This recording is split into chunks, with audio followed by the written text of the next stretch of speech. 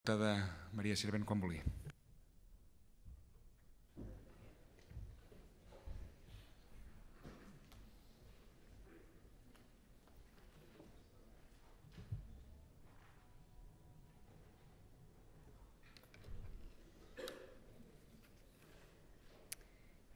Bé, hem vist que de cara a l'exercici pressupostari de l'any 2019 els ingressos de la Generalitat es veuran augmentats en 2.700 milions d'euros.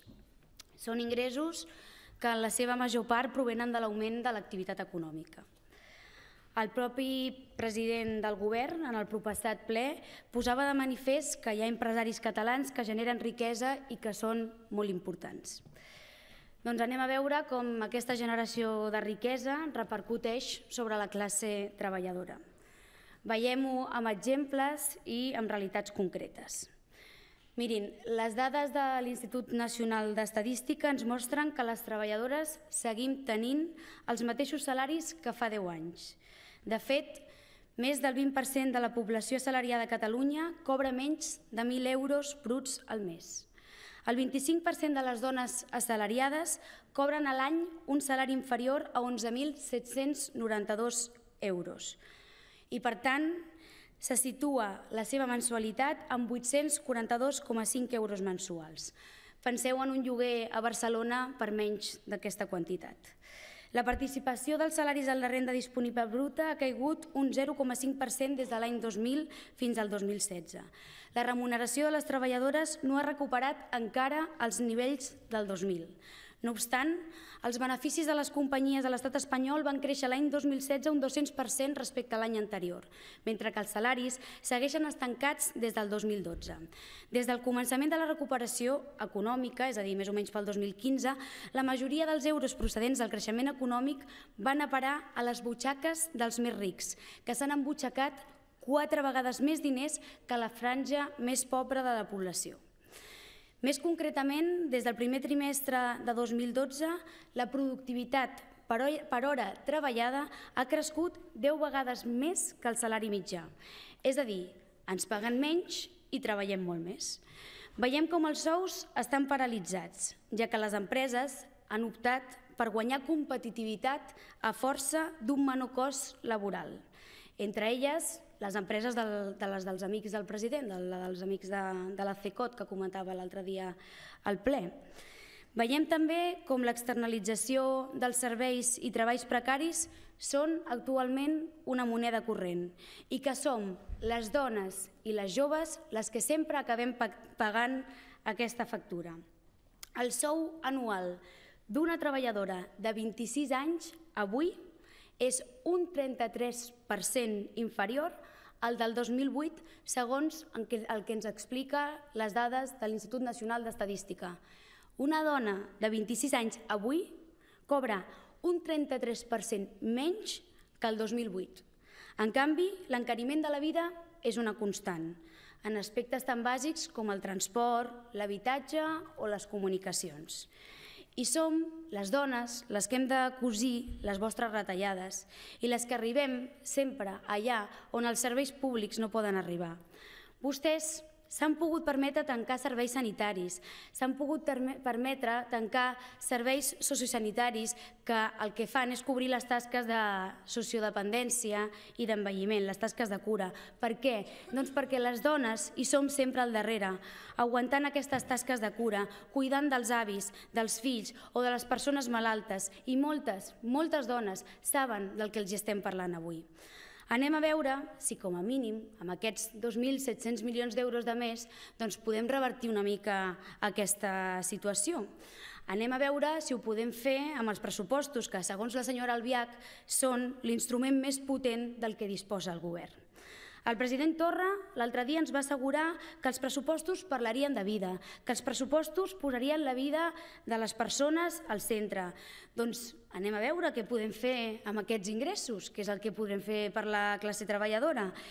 En primer lloc, hem de partir de la premissa, que ja ens ha explicat el vicepresident, que el govern no té cap intenció de desobeir les regles que ens marca la Troika i que, per tant, ens marquen els mercats financers i que, per últim, ens imposen els pressupostos estatals. I, per tant, si volem obeir els objectius fiscals de deute, de dèficit i de despesa, hem d'explicar també que d'aquests 2.700 milions d'euros només en podrem disposar de 1.600 milions d'euros. Per què? Perquè això és el que ens marca la regla de la despesa.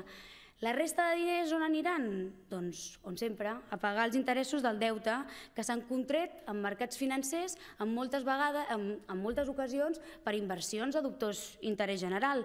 Diners que aniran a la banca, que aniran a qui ens ha estafat en massa, que aniran a qui protagonitza cada dia centenars de desnonaments, que aniran a aquella banca que ha estat rescatada amb diners públics i a la, i a la mateixa banca que defensa el Tribunal Suprem. Amb aquests 1.600 milions d'euros dels que podrem disposar, què podem fer?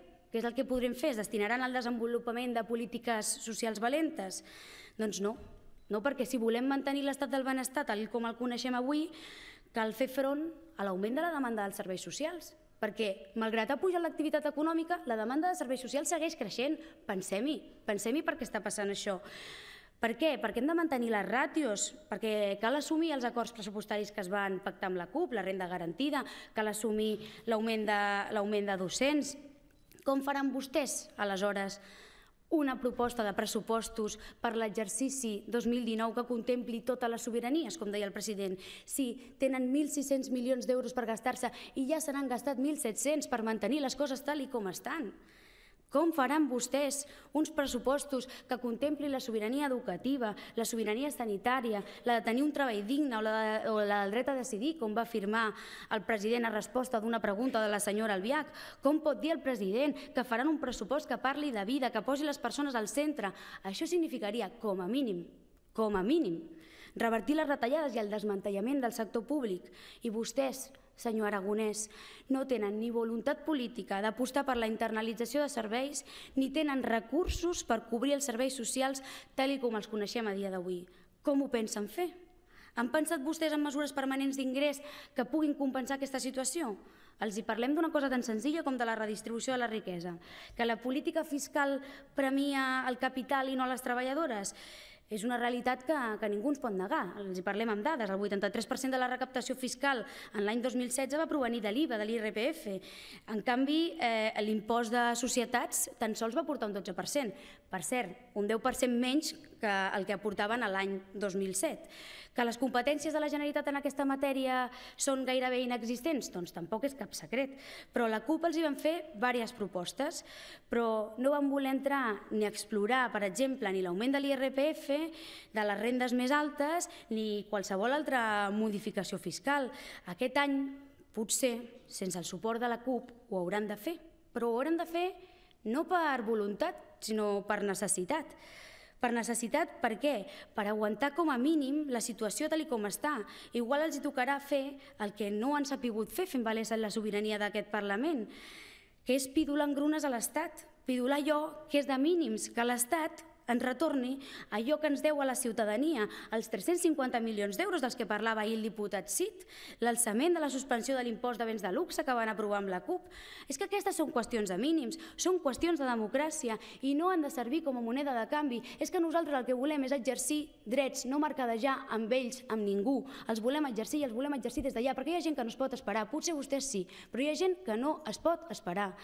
I per tant, quan ahir el senyor Iceta els deia que governin i que assumeixin les seves responsabilitats i que facin allò pel que estan legitimats, que és gestionar els pressupostos, els va dir, bueno, més bé potser la paraula correcta era, els va advertir, que ja saben vostès que és el millor per Catalunya, que ja saben el que han de fer, que han d'aprovar els pressupostos de l'Estat, perquè si no, vostès es quedaran sense recursos. I aquest és el xantatge constant. I que això ho faci el PSC, doncs mira, no ens estranya però que la senyora Segovia i que el senyor Cid, de Catalunya en Comú, s'apuntin a aquest xantatge i animin els grups parlamentaris a donar suport als pressupostos de l'Estat per aconseguir més recursos i que supeditin la negociació dels pressupostos, no al contingut d'una proposta concreta, sinó precisament a l'aprovació dels pressupostos estatals, doncs mirin, no ens ho esperàvem d'un grup parlamentari que parlava de sobiranies constantment en aquest, en aquest ple.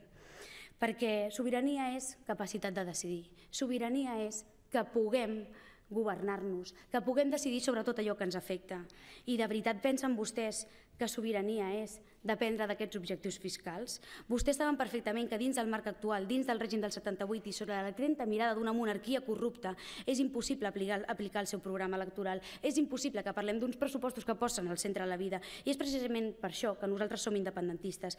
Senyor Aragonès, nosaltres els hi vam fer una proposta que parlava de legislar a favor de la gent, que passava per apostar, una transformació, per apostar per una transformació real de la societat, per trencar amb les cadenes d'aquest règim del 78, per parar d'enriquir aquells que s'enriqueixen a costa de la, majoria, de, la, de la pobresa de la majoria treballadora. Però vostès han decidit caminar de la mà dels de sempre. Gràcies, diputada.